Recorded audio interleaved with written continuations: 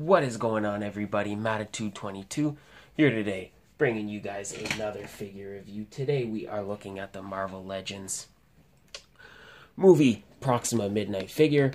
But as always, guys, before we look at the figure, let's take a quick look at the packaging. So right on the bottom, it says Avengers Infinity War, because of course she is a movie figure. Proxima Midnight, Legend series on the top, Build-A-Figure Thanos right there. Avengers logo on the top there. Shot of the character on both sides. Nice shot of the figure on the back with a brief little bio. If you want to read that, go ahead and pause this video now. And of course, there are the other figures available and the completed Build-A-Figure. And barcode and writing on the bottom. So, with that stuff out of the way, guys, I'm going to take a quick minute. I'm going to get her out of the box so we can, so that way we can take a closer look. Alright, so taking a look at. Excuse me. Sorry about that, guys. Just had to clear my throat. So, taking a look at Proxima Midnight out of the package. Oh man, she looks really nice. Really, really nice. This this uh, figure is so, so much better. Not so much better than I thought necessarily thought she would be, but I like her so much more than I thought I would.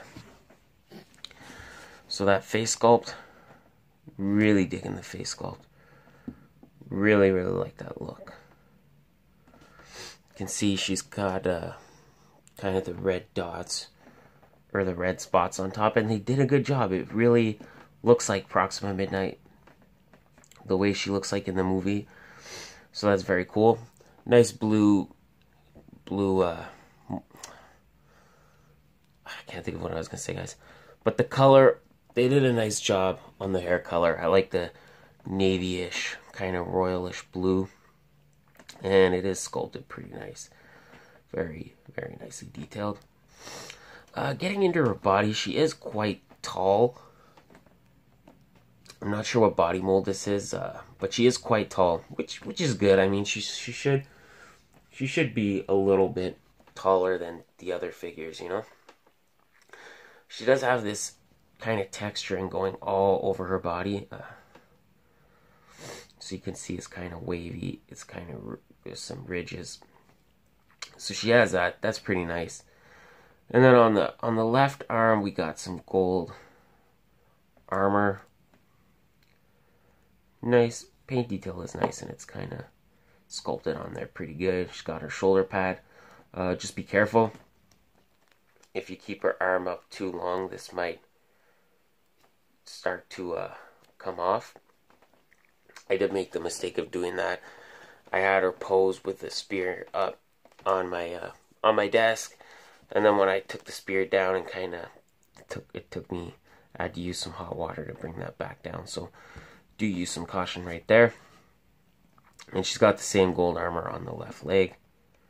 A little bit of a little bit of texturing right there. A little bit of texturing on the shoes. Other than that, not really any sculpted detail on the figure itself. Like she's not wearing, I mean, she's kind of, she's got a belt or something. You can see right there. But it's just kind of, it's just kind of on and they just kind of painted it over. So I'm thinking that this body was for, uh, well, I'm thinking that like this piece is gonna show up again at a later figure that'll use this body or a previous figure, and they because they just kind of painted it over, but not bad. Hands are pretty cool too. Same kind of texturing. So overall, nice detail. Looking at her articulation, the head moves side to side, forward and back arm moves up to about here and you're not going to be able to rotate this one because of this piece but you can rotate this one. Moves out this far forward and this far forward. Moves up to about here. Doesn't you can see the difference. So this definitely will inhibit the articulation a little bit. Bicep swivel and holy shit. Is, is it the end of the world? A double jointed elbow a female Marvel Legends with a double jointed elbow. That is crazy to me. I'm guessing because it's a larger it's a larger figure, but wow. So pretty cool. She's got the double jointed elbow. I'm impressed. And standard diaphragm joint. Not really a lot of movement. You don't really get a lot out of this. Oh, I'm sorry, I thought I was going to sneeze, but then I didn't. Get forward and back, and you can get a weird side angle, but not the best movement. Hips move out to here. She kicks this far forward, this far back. Thigh swivel, double jointed knee, ankle pivot, and ankle rocker. And the only other thing with the legs, guys, is the more you kind of rotate them, the more it'll kind of break up the sculpt. Uh, I don't know how it's supposed to go, but like I don't know if the white's supposed to be connected there, but that's not right. But that's not really a big detail. That's not really important. Stand up. Stand up.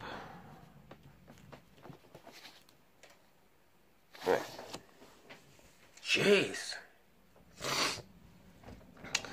Her one accessory is her spear, which is nice.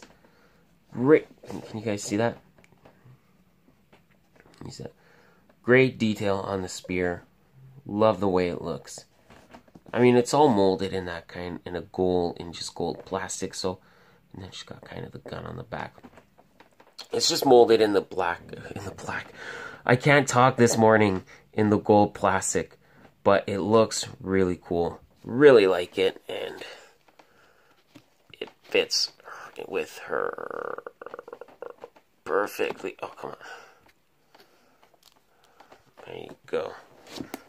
That Proxima Midnight. She also comes with a Thanos piece, but we'll look at that when we look at that figure. But all in all, guys, I really like this figure.